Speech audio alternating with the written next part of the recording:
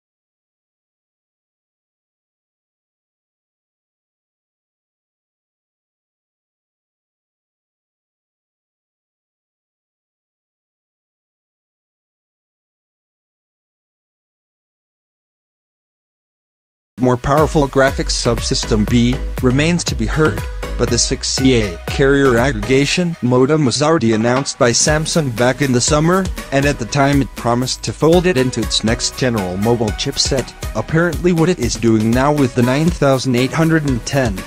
The Exynos 8895 in the Note 8 has a 5CA modem and 1GB per second peak download speeds while the 6CA modem in the 9810 promises 1.2 GB per second and more stable downloads, getting Samsung ready for the upcoming 5G era. At the time, Samsung hinted that the mobile processor adopting the new Cat.186CA supported LTE modem technology is expected to be in mass production by the end of this year, and the announcement of Exynos 9810 seems to fit this time frame.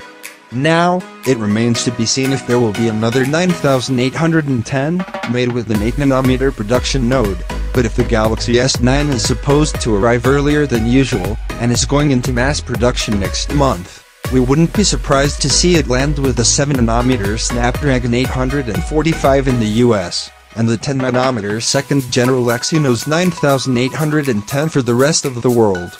The average user most likely won't be able to tell a difference anyway, so we can't wait for the first Exynos 9810 scores to start hitting the benchmark databases. Thanks for watching everybody. Don't forget like and subscribe, share it if you liked.